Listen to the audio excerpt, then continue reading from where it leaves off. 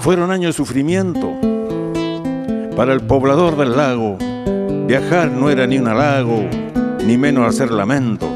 Se viajaba en los momentos, en esos barquitos chicos, para llegar no me explico, y pasar para la Argentina, traer los vicios, la harina y siempre por Chile chico. La Pilchero entró a viajar, conectando los poblados. Ya hubo un paso avanzado para la gente del lugar y sus productos embarcar y sin ser de gran tamaño. La barcaza por 50 años fue la solución de todos. Yo lo entendí de ese modo. Esto no es ningún engaño. Hoy la conectividad, sin duda todo ha cambiado. La Chelenco por un lado, buenos buses y caminos. Los viajantes ajuerinos viajan con comodidad y empresas hay por allá que siguen pavimentando y la ruta está quedando que es una barbaridad.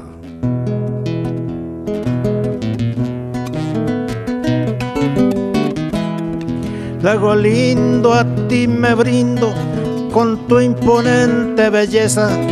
Bendita naturaleza, a tu grandeza me rindo por tus caminos tan lindos, por tus pueblos y tu gente, así cariñosamente con la guitarra en la mano, al saludar mis paisanos, quiero decirles presente.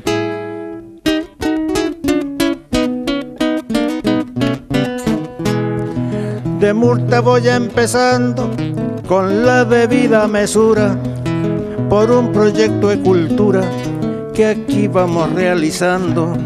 Quisiera irles mostrando estos lugares grandiosos de sus pagos orgullosos, con montes, valles y cielo, campos grandote, buen suelo, el muelle y su valle hermoso.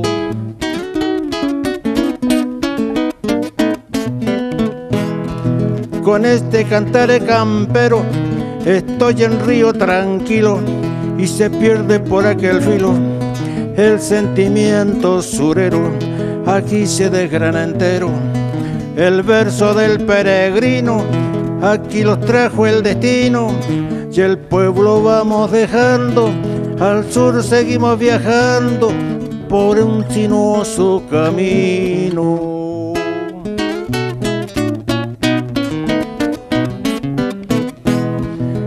Llegamos al sur del pago en este viaje especial Aquí está Puerto Guadal, lleno de encanto y halago, la perla linda del lago, de gente tan especial. Quisiera en este final mostrarles esta hermosura, donde el paisaje depura a este pueblo original.